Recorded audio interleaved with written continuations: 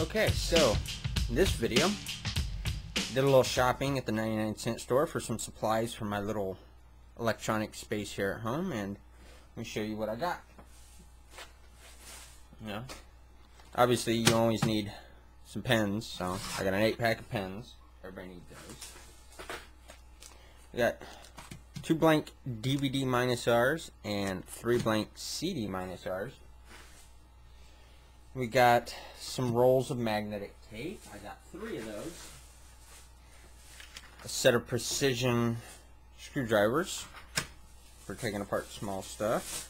Some more magnetic tape. And keep in mind, each one of these items was 99 cents.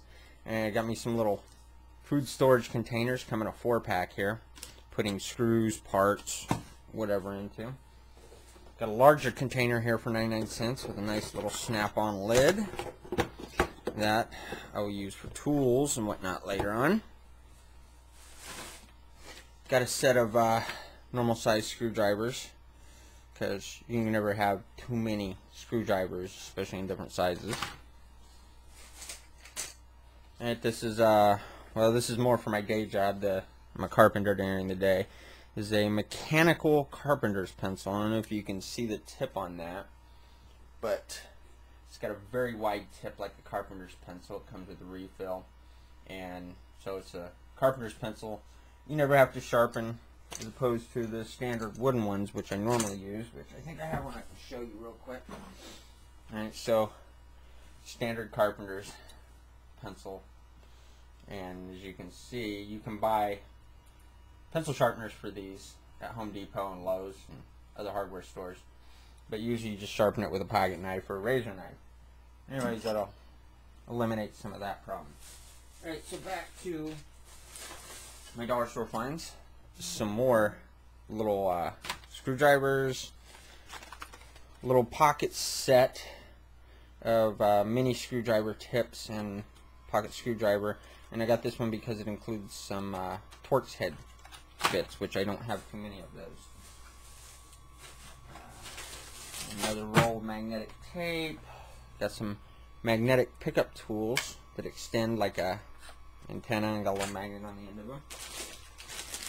Hot glue gun. Some square foam mounting pads, double-sided. Some Playskool washable school glue. Couple sets of little C-clamps. I got a small one and a large one in the pack, and I got two of those. Um, another magnetic pickup, a little uh, extending mirror thing. Pack of cheap AA batteries. Some more C-clamps. Some two tubes of uh, super glue gel.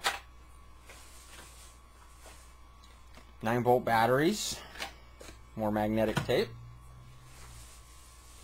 another 9 volt battery, tube of crazy glue, box of push pens, yep. 150 of them in that pack, glue sticks for my glue gun, this doesn't really have anything to do with the lab, but I thought it was kind of cool. If you can see this, um, it's a digital watch that just shows a black face until you hit the button, and then as you can see, it lights up. Thought that was kind of cool. These are just some little metal bracket clamp things I found on the walk home. Thought I might find a use for those someday. So, and then the last thing I got was a box of aluminum foil 50 square feet because I'm only using aluminum foil for this kind of stuff. So that was my shopping trip to the 99 cent store today which was primarily to get items for my electronics work and, and projects and stuff that I do here at home. So this would be my first video on this subject and coming soon will be my first project and then each project that I build after that I'm gonna go ahead and upload the videos so you guys can see what I'm doing so thanks for watching and uh, 35 bucks. All this crap for 35 bucks. Now what am I going to do with it?